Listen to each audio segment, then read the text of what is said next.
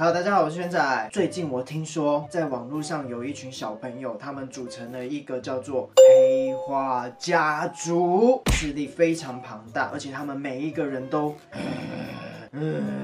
很凶猛，所以今天我们就要来看黑化小朋友到底有多黑。马上开始，珍珠已黑化，黑化家族族长。小朋友就是在名字后面挂号加上“已黑化”三个字，就代表自己已经黑化了。那我们现在就来看黑化家族的族长到底拍了什么影片。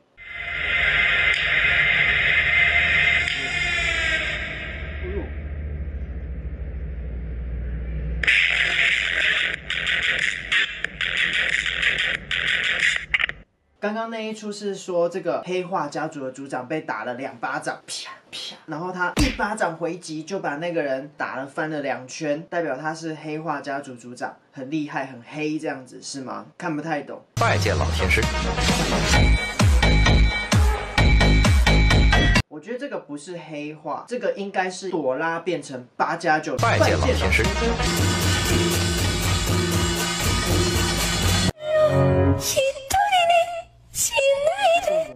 为什么？为什么？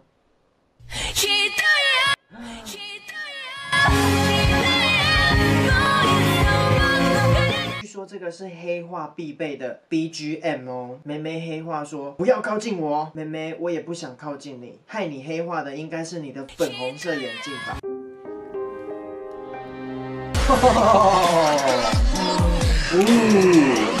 这个妹妹黑化以后。哼哼，邪魅一笑，很有自信哦，是一个黑暗女王哦。有敢跟我比不好看的，那就水鬼。喜欢我的扣一，喜欢我的扣二。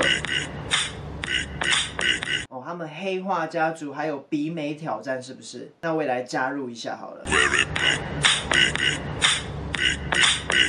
扶着我，让我黑化！别扶着我，我黑化了。